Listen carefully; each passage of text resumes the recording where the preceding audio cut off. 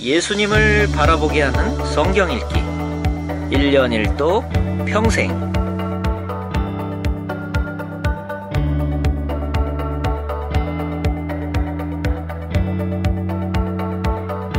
11월 생활 미션은 세면대 청소하며 용서하기입니다.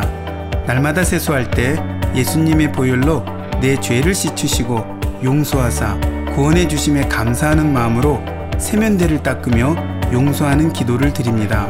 주님, 오늘도 사랑이를 십자가 사랑으로 용서하게 하옵소서. 용서하면 복음의 문이 열립니다.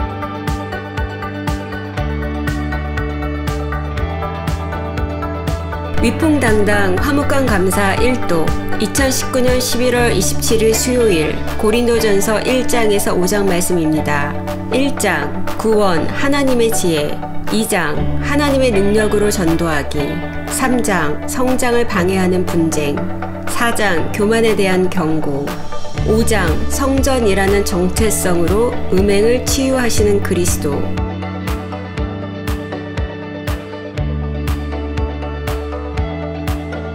오늘 말씀 고린도전서 4장 20절 말씀입니다.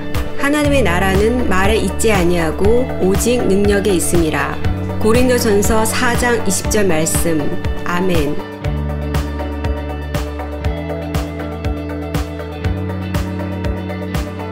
자기 희생 지름길 기도문입니다. 하나님 아버지, 사랑이가 말이 아니라 능력으로 일상에서 승리하게 하옵소서. 예수님 이름으로 기도 드리옵나이다. 아멘.